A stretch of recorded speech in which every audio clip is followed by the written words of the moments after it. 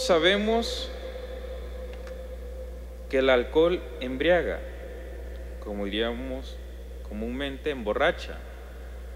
Todos sabemos eso, pero nadie se ha emborrachado por saber que el tequila emborracha. Nadie se ha emborrachado por saber que la cerveza emborracha. Nadie se ha emborrachado por saber que el whisky emborracha. Así con muchas cosas en la vida. Una cosa es saberlas acá, otra cosa es vivirlas.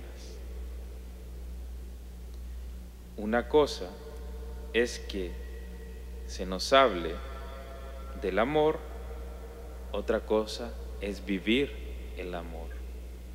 Y exactamente lo mismo aplica para la fe.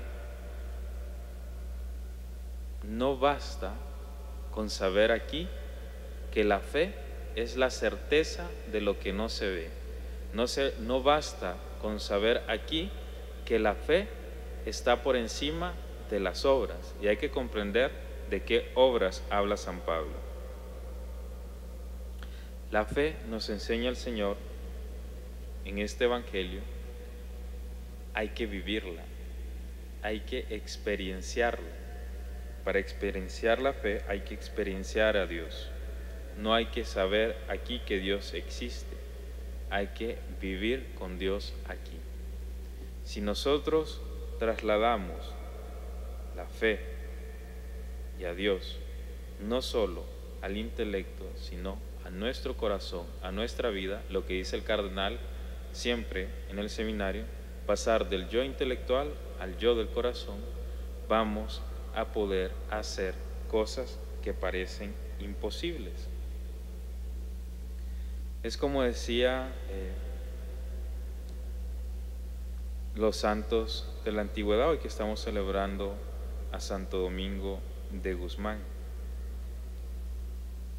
Uno debe comenzar haciendo lo necesario, luego haciendo todo lo posible, y cuando menos lo esperemos, estaremos haciendo lo imposible porque necesitamos a Dios en nuestra vida, necesitamos experimentar a Dios en nuestra vida.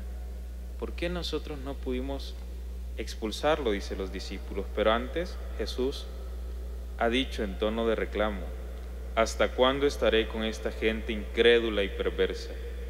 ¿Hasta cuándo tendré que aguantarlo?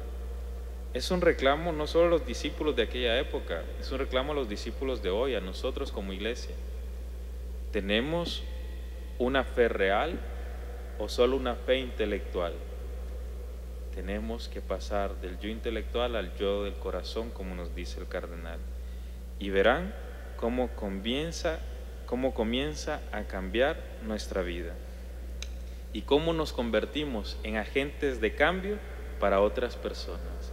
Jesús le cambió la vida a este hombre y a este muchacho. Así nosotros le podemos cambiar la vida a muchas personas si empezamos a vivir la fe de verdad. Amén.